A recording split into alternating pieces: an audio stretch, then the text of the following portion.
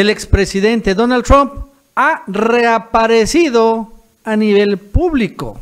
Desde Florida abrió la nueva oficina oficial del expresidente de los Estados Unidos.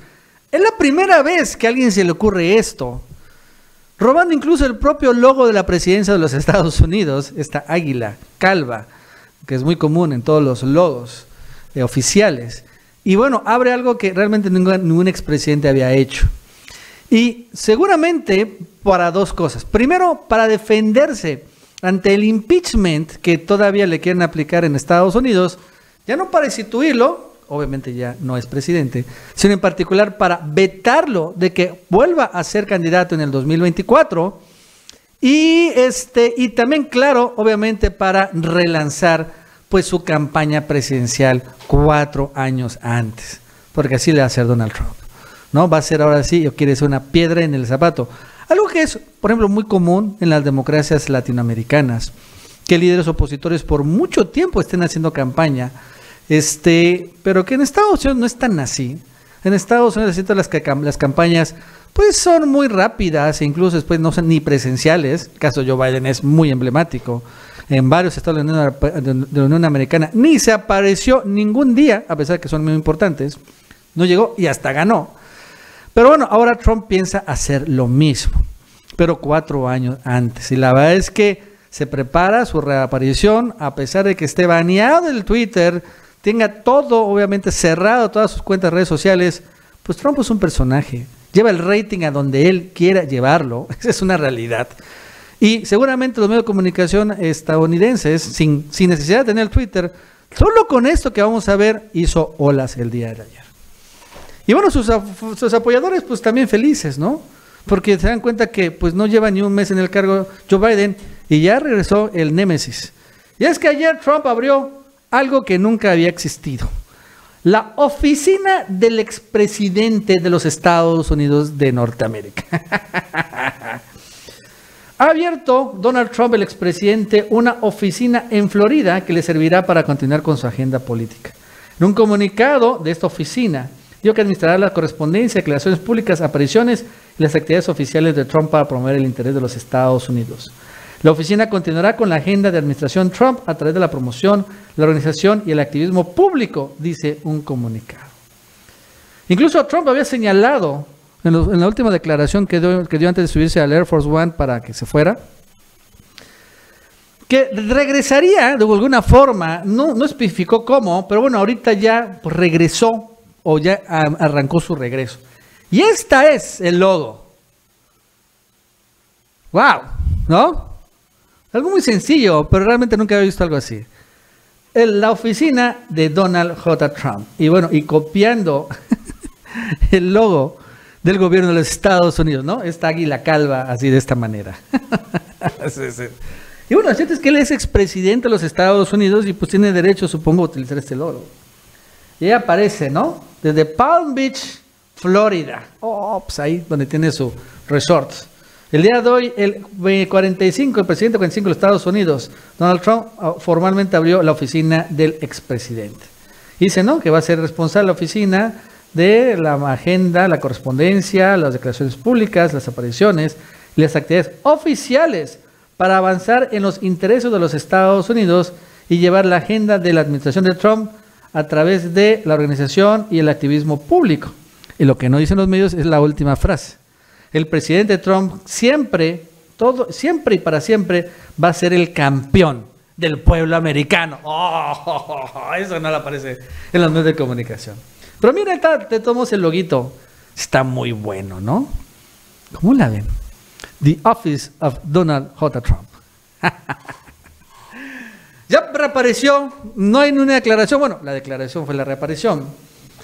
Pero ¿por qué reaparece? Bueno, porque lo cierto es que a pesar de que el nuevo presidente de Estados Unidos, Joe Biden, hable mucho de unidad, bueno, ese es un discurso, pero en los, los hechos políticos, los demócratas y también un gran sector del republicanismo quieren liquidar a Donald Trump. Ya no lo quieren otra vez, porque tiene la posibilidad Donald Trump de volver a ser candidato presidencial en el 2024 y volver a ganar la presidencia. Es una posibilidad. Entonces quieren liquidar esta posibilidad. Entonces ante ello están impulsando un impeachment, un juicio político contra Donald Trump. ya no para destituirlo, sino para vetarlo e intentar finalmente descarrilarlo desde ahora. Entonces, esto ha, avanzado. Por ejemplo, ya llegó al Senado la acusación de juicio político contra Trump. Recordando que el proceso legislativo es que de la Cámara de Representantes se aprueba el inicio del juicio político, por así decirlo. Entonces llegan los llamados administradores del juicio político, caminan, porque esto también es muy simbólico, ¿no? Desde la Cámara de Representantes hacia la Cámara de Senados, todo está en el mismo lugar, en el Capitol Hill, en el Capitolio, por eso caminan de un lado a otro. Eso sucedió también en el primer impeachment de Trump. Y entonces se entregan después los documentos, los, los, los representantes, los congresistas, pues, a los senadores para que arranque el juicio político con Donald Trump, contra Donald Trump. Y bueno, volvió a suceder esto, sucedió el día de ayer. Entonces, pues obviamente, siendo un juicio político, siendo un juicio, pues, pues va a haber pues testimonios, testigos, defensa y bueno, jueces que serán los propios senadores y una sentencia. Entonces Trump, pues aquí obviamente eh, puede acudir pues a una defensa, ¿no? O sea, vamos a ver un juicio, va a haber un circo, pues. Y Trump no dudó que vaya a ir directamente al mismo, obviamente, a defenderse públicamente en el Senado de los Estados Unidos. Eh, yo no sé qué tan eh, efectivo sea esto, porque lo único que van a hacer es hacer más popular a Trump, honestamente, los demócratas con este circo, porque va a ser un gran circo y Trump realmente es muy buen protagonista de cualquier circo. Pero bueno, ya arrancó esto. Y repito, ¿por qué lo están haciendo? Porque quieren este, de, este, descarrilarlo. Porque ¿qué sucede? Hay una, hay una, hay un, hay, hay un artículo en la Constitución, ¿no? Que señala que se puede descalificar a una persona para ocupar y disfrutar de cualquier cargo de honor, fideicomiso o beneficio en los Estados Unidos. O sea, la Constitución de los Estados Unidos permite la descalificación de una persona, ¿no? O sea, así, de ambiguo es esto, porque es una constitución increíblemente vieja y no ha sido actualizada. Entonces, obviamente hay una gigantesca interpretación. El problema es que nadie sabe si la presidencia de los Estados Unidos cuenta como esto, la Oficina de Honor, Confianza o Beneficio de los Estados Unidos. Nadie lo sabe porque nunca ha pasado esto. Nunca ha votado el Senado la descalificación del presidente de los Estados Unidos. Los únicos que han sido descalificados son jueces para ocupar cargos futuros. Jueces que, han recibido una condena, que esto es lo importante. O sea, los jueces han sido condenados por alguna circunstancia, son especie convictos, entonces le aplica el Senado esta esta legislación y entonces ya fueron descalificados para ser jueces o ministros o lo que quieran y manden, no sé. Pero nunca en la historia de Estados Unidos se ha aplicado este artículo ambiguo para el presidente de los Estados Unidos. Pero bueno, lo cierto es que eso nunca ha impedido a los gringos hacer pues, sus maldades, ¿están de acuerdo? Entonces es lo que quieren hacer. O sea, primero llegar al impeachment, el juicio político, ser declarado culpable Donald Trump del juicio político y después en una segunda votación declararlo que está descalificado y que no puede contender por la presidencia de los Estados Unidos ni por otro cargo de elección popular. Y bueno, pues ese es el show y saben que va a ser show. Y Trump pues ya reapareció. Entonces, ¿qué, qué pasó el día de hoy?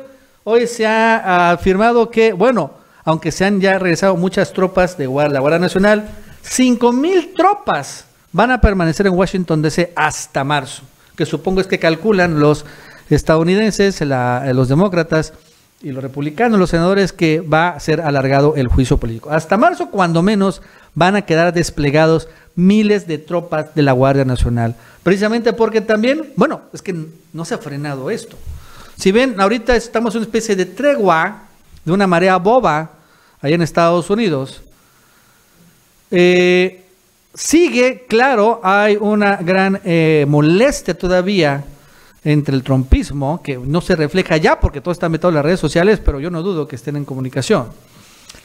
Y, este, y también el hecho de que se ha, aplicado, se ha empezado a aplicar una más dura censura por parte de las plataformas de redes sociales y de los medios corporativos, esto no dudo que también esté alimentando más y más el rencor, el odio, el enojo de un sector de la población, la trompista, que también se va a ver reflejada eventualmente en eh, cuando arranca el juicio político contra Donald Trump. Entonces, viene ahora sí como que la temporada 2. ¿No? Ya vimos la temporada 1, fue muy emocionante, acabó, bueno, con la llegada de Joe Biden a la presidencia de los Estados Unidos, con este el Capitolio militarizado y Washington ese completamente, ¿no? tomado por la Guardia Nacional y ahora pues arranca la temporada 2, ¿no? El juicio político y bueno, pues con Trump anunciando su regreso en esta oficina de la expresidencia, pues no se duda que va a ser igual o más emocionante que la primera. Así que, pues esto no acaba hasta lo que acaba y realmente con Trump, honestamente, no hay que subestimarlo. Muchos, muchos, muchos los subestimamos, me incluyo, pero ya no hay que cometer ese error. Tiene una gran capacidad realmente para pues crecerse en y ser finalmente un producto 100% estadounidense. O sea, hollywoodense, estrafalario, ¿no? Generar rating y ser circo. Y eso a los gringos les fascina. Esa es la realidad. No les interesa tanto la seriedad. Por eso las Kardashian son tan famosas en Estados Unidos. Y bueno, pues los programas más serios nadie los espera. Bueno amigos, eso es todo. Hasta luego.